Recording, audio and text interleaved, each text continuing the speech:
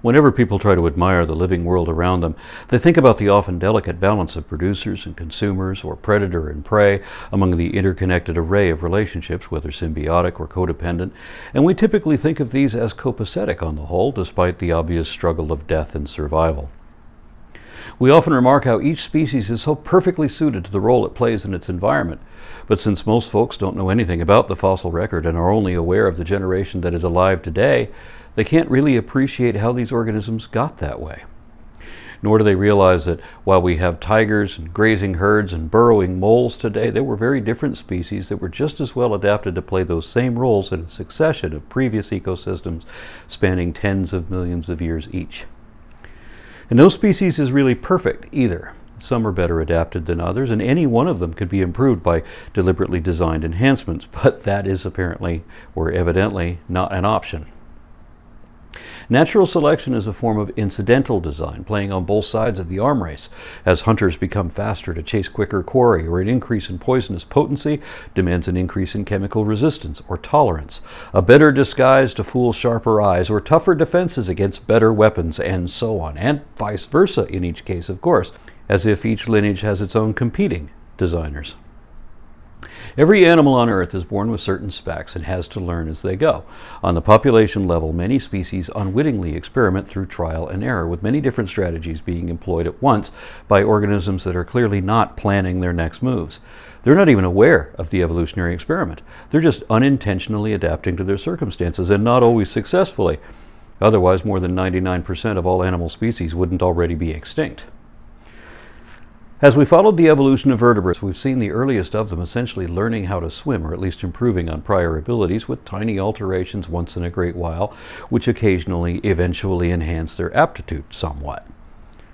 We watched them learn how to walk in much the same way, with the earliest tetrapods being barely capable and subsequent species being better suited than their forerunners, but still inadequate compared to their successors. We see the same evident progression once the first vertebrates began to fly starting by jumping and gliding and moving into powered flight. Before there were birds, there were pterosaurs. The first pterosaurs were clumsy, inefficient, and like so many of us, had to work too hard to get not very far, struggling to stay above trouble and keep from crashing. An example of this is the earliest known pterosaur, Dimorphodon. The later rhamphorhynchoids got better at it, becoming more adept at guiding themselves through the air to target their prey in mid-flight. At this point in the series, we're in the upper middle Jurassic. At this time, a new line of pterosaurs changed the design. They weren't steering with their tails anymore, they were steering with their heads instead. And since their tails were no longer necessary, the next stage of their evolution was to shorten or lose those tails along with the associated membrane that tied their hind legs together. So that they weren't just better at flying, they were better at walking too. And these changes began a new line of pterosaurs called pterodactyloids and these would become the biggest flying animals ever, with some as big as a man, and a couple of them were even as big as some airplanes and stood as tall as a giraffe. That's incredibly big for an animal that was still amazingly able to fly. Yet, despite their enormity, they were also the master flyers of all time, with super lightweight skeletons of hollow tubular bones and a suite of physical and neurological traits supremely adapted for flight. They could apparently fly much higher and faster than any bird, and some of them were even capable of transoceanic flights. Now think about when men first learned how to fly. Being the intelligent designers that we are, once we confirmed that flight was possible, we immediately explored every conceivable shape for aircraft, so that in only 30 years or so, we settled on the most optimum design that we're still using now, but which is very different from what we started with. But the first pterodactyls took to the air 30 million years after the first rhamphorhynchoids. So the blind design of natural selection working on myriad minuscule incidental mutations in population mechanics amid environmental dynamics obviously takes several orders of magnitude longer to accidentally try out a design that happens to work better than when someone who knows what they're doing is deliberately planning something. But evolution is not about getting bigger and better. It's not always improving or increasing complexity. It's about biodiversity. And as with every other major clade we've looked at, there were many more species in the pterosaur collective than most folks would ever guess, with many different versions suited to diverse diets and lifestyles, just like birds are today. And that's why pterodactyloids include the biggest, but also some of the smallest pterosaurs ever. Our ancestors at that time didn't just have to worry about being eaten by dinosaurs against whom no mammal could compete. Now we could be picked off from the air by pterosaurs as well. We've seen a few different species growing these oversized membranes and then learning to glide. And at this time, there were even a few dinosaurs doing that. While there were no actual birds yet, there were a few small maniraptors called paraaves because they were almost, but not quite, birds. They had feathers, but hadn't yet figured out how to fly or even glide with them. So one lineage, called Scansoriopterygids, developed small two-fingered wings, like something between the wings of bats and those of pterosaurs. They had feathers too, but they didn't use them in their wings. Instead, they used them in their tails. So these weird little batodactyls were like the flying squirrels of tiny dinosaurs.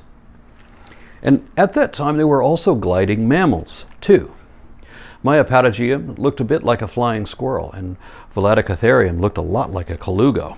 And colugos are modern mammals that also look like proto-bats that never completed the evolution to powered flight. The membrane stretching from their arms to their legs also connected their fingers, too.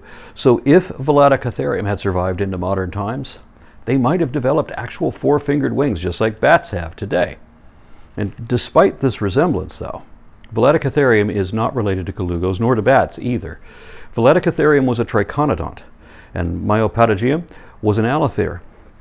Both of these clades died out millions of years ago with no descendants. In the last episode, we talked about our ancestry in Zatheria. Among Zatherian subsets is Tribosphenida, and this group is named for their cheek teeth because of their shape at that time, but also because of their sequential placement in terms of evolutionary development from at least Holotheria through Theria. At this point in our series, we're getting very close to the split between marsupials and placental mammals. And we know a couple changes that have to be in place by now, but that we wouldn't likely ever find in fossils. Even in the rare case of complete skeletons, there are certain anatomical features we expect to see that are made of soft tissue and won't fossilize except in the rarest of pristine conditions. And the feature we're looking for now would be hard to identify even then because it is tucked so deep between the hind legs. And let me explain. When my kids were young, we had a pet emu living in our backyard. I loved that bird. His is the most famous photo ever of an emu, and it was taken in the park down the street from our house. We took this photo that same day. Anyway, like all birds, emus have a cloaca, meaning that the urinary tract and the colon are both the same thing. So he didn't pee and he didn't poop really either. Instead, we called it poos when he squirted out this runny, globby, icky poop piss combination. Now, birds and other reptiles lay eggs out of their cloaca because the anus and the vagina are the same orifice, too. We can't be sure at exactly what stage our ancestors stopped laying eggs, but we know that marsupials and placental mammals don't lay eggs. They both give birth live. So their common ancestor must have two. And there are obvious health reasons why a fetus should not be literally pooped out through a sewer chute full of feces.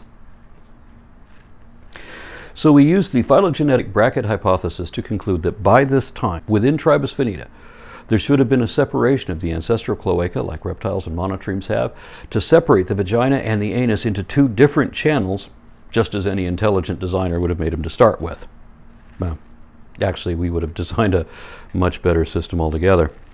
Regardless, even if we disregard the subtle but diagnostic features in our cheek teeth, if you're capable of going number one separately from number two, and you don't always have to do both together at the same time, out of the same hole that your kids come out of, that you came out of, then aren't you happy that you were born Tribus Tribosphenidan?